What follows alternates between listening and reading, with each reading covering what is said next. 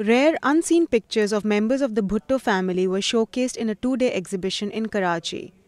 The photographs provided an insight into the lives and hobbies of the different members of the Bhutto family over the years. From candid moments between siblings to important political events, the 4,000 photographs at the exhibition preserved every memory of the Bhutto family from 1910 till 2010. पूरी history peoples party की है ये नुमाइश नहीं है ये university है university peoples party की।